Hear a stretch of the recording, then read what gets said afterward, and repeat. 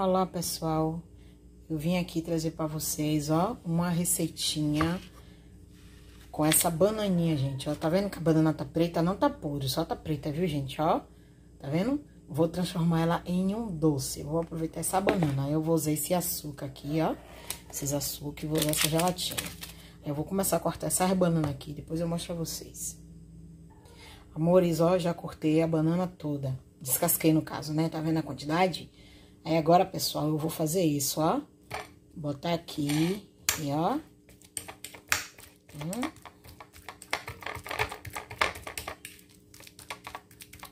Vou amassar todas essas bananas aqui. Tá vendo, gente? Já, ó. Machuquei a banana toda. Aí agora peguei esse açúcar aqui, amores, ó.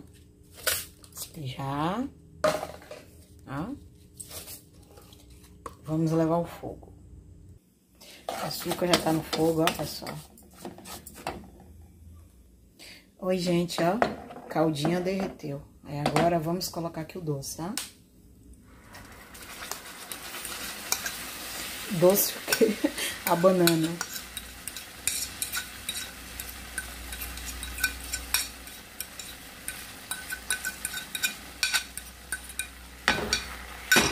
Amores.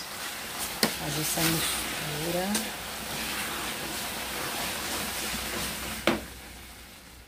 Lembrando, gente, que esse açúcar é demerara, viu? Por isso que ele já tá assim escuro, mas não tá no ponto ainda não, viu? Tá pronto, ó, pessoal. É? Começou a soltar, ó. Tá no ponto, ó. Aí agora, deixar esfriar pra gente ir pra segunda etapa, que é a gelatina. Amores, gelatina já tá aqui. Agora vamos contar cinco colheres de sopa pra lavar no micro-ondas. Uma duas, três, quatro, cinco. Mexi. Agora eu vou levar 15 segundos no micro-ondas. Agora eu vou levar aqui ao doce e vou mexer. Mexendo, amores, ó. Encorpando aqui a gelatina ao doce. Ó, encorpei o doce. Agora eu vou colocar nessa vasilha aqui. Untar um pouquinho de óleo, ó. Tá vendo?